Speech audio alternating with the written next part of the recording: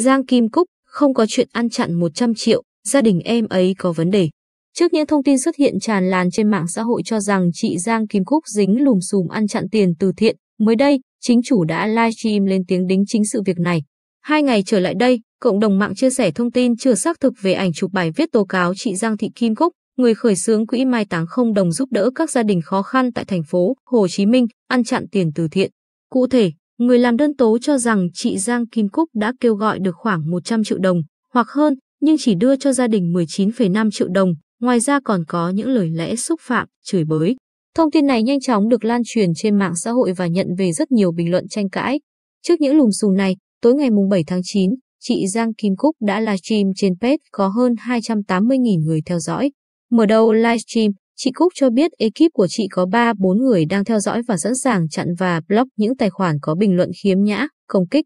Chị Cúc cho biết sự việc liên quan đến hoàn cảnh TLVT Bình Phước, vào hồi tháng 4 năm 2020. Lúc này, chị Cúc đã livestream kêu gọi cho T trong 4 ngày được số tiền 21,2 triệu đồng.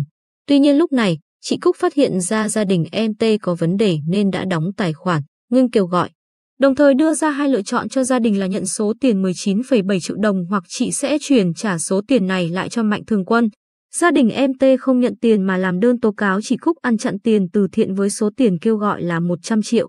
Chị Cúc cho biết về vấn đề này đã nhờ công an địa phương vào cuộc điều tra.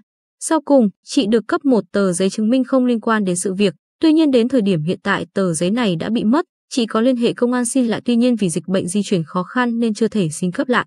Livestream của chị Cúc lúc cao điểm có hơn 20.000 người cùng xem, hàng trăm bình luận động viên, an ủi chị Cúc vững lòng trước thị phi.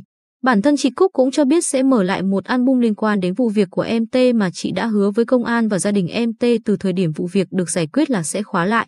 Về việc phát livestream ở mỗi buổi từ thiện, chị Cúc cho biết muốn để gia đình của nạn nhân có thể có những người ở xa họ theo dõi, hoàn toàn không có ý gì khác. Việc những ngày gần đây chị không livestream nữa bởi mỗi lần phát livestream lại xuất hiện rất nhiều bình luận chửi bới tục tĩu.